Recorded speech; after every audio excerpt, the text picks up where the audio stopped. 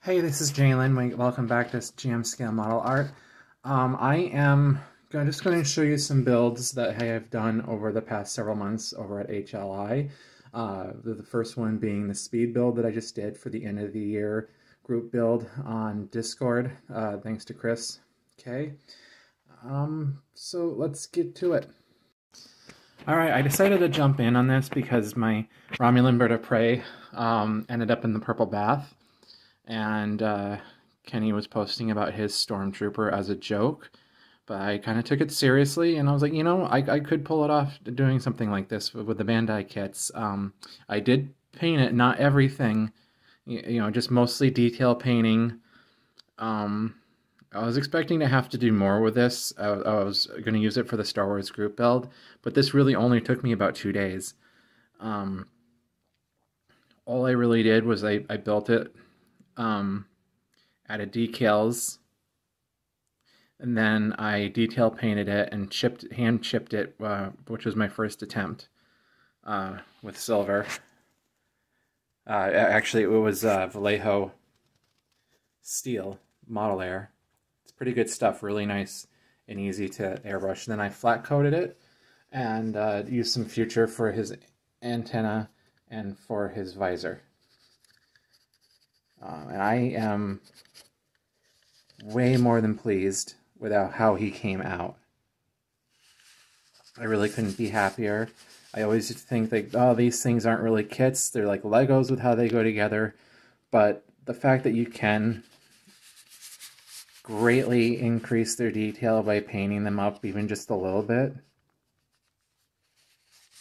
makes them worth it. I mean, I'm, I'm glad I'm not hugely into Star Wars, Otherwise, I would go nuts and get all of these. Um, I don't really like my builds to take two days. I like them to take two months. It's a lot cheaper that way. But Boba is awesome. Up next, Dr. McCoy. And here's the good doctor. I received him uh, from Kenny from the Christmas giveaway from last year. It is a Blackheart model bust. Um, I've only ever painted one figure before, and that was the Mr. Spock with the little three-headed snake. So I wasn't really sure what I was doing. I watched a, uh, video on YouTube from Sideshow Models as well as a, or collectibles, as well as a bunch of other tutorials, and got something pretty passable. Um, he was looking too orange at first, so I used a bunch of sand, an Iraqi sand, um, to blot him down. Most of his face is uh, games color, uh, blush as well, or rosy blush, um, Vallejo's, and I think some scale 75, yeah, for, as far as badge for the gold. Uh, the body is done with craft paint as well as his hair, which I used a couple different colors on. It doesn't show up very well here. But I know he does. DeForest had some shiny hair, so I added some future back to it after I had dulled him down. And I'm really happy with the way the eyes came out. Because those can be a tricky thing from what I hear. Up next, A10 Warthog. Just realized I was filming it the wrong way. Alright, um, I am showing this one off because I did not have I lost the video for, for most of uh, my build throughout this because this was for the uh, HobbyLink International 2021 Braille Scale group build. Uh, it is an A10 Warthog using the Academy kit in 172nd scale, and I used the uh, photo etch from for the Revell and Italeri kit from Ed Eduard, and I made up my own base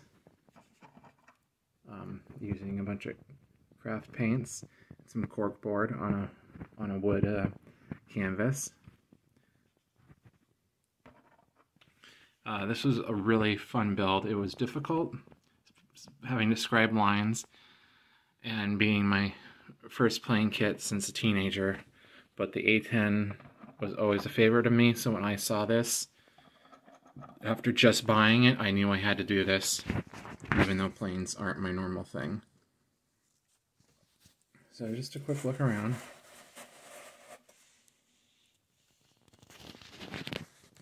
That's pretty nice detail. The photo etch just needed uh, some slight modifications.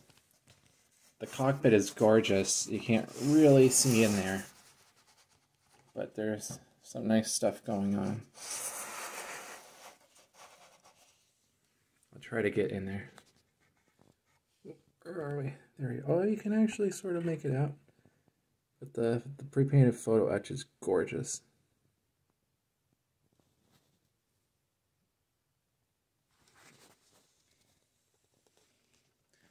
And I love the paint scheme for this.